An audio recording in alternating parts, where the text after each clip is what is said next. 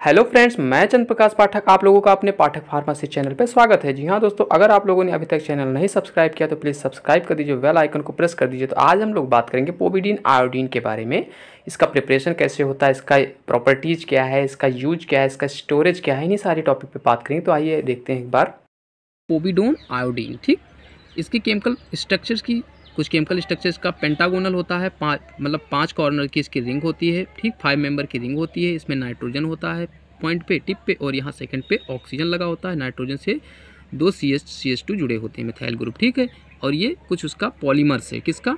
Povidone का polymers है, ठीक है? ये पॉलीमर्स इससे ही बनता है पोविडोन आयोडीन प्रिपरेशन की बात करें तो it prepare by mixing polymer of povidone with iodine until 10 percent I two each absorb by polymers मतलब ये कह रहा है कि इसका जो फॉर्मेशन होता है वो किससे होता है? पोविडीन आयोडीन के मिश्रण मिक्सर से होता है। जब कितना एब्जॉर्ब हो जाए आयोडीन टेन परसेंट आयोडीन इसमें एब्जॉर्ब हो जाता है जब इस पॉलीमर में तो क्या बन जाता है? पोविडीन आयोडीन बन जाता है। ठीक है?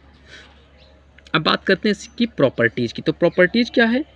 It is yellowish brown colour हल्का पीला और भूरा रंग का होता है। It have slightly iodine like odour iodine की जैसी इसकी गंध होती है। इट इज़ एमॉर्फस पाउडर होता है ये। It is soluble in water and practically insoluble in acetone and ether water में घुलनशील है, लेकिन ईथर और एसीटोन में ये आघुलनशील है। बात करें इसकी स्टोरेज की तो it should be store in well close container बहुत ही अच्छा से ढका हुआ कंटेनर में हमें इसे रखना चाहिए।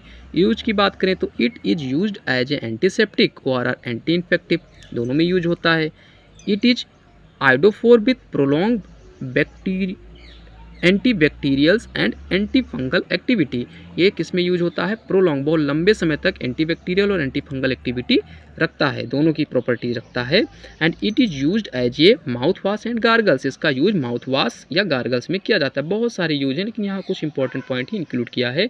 तो ये था हमारा आज का वीडियो। उम्मीद करता हूँ कि आपको ये वीडियो ज़रूर पसंद आया होगा। अगर पसंद आया तो लाइक करें शेयर करें और चैनल को सब्सक्राइब करें।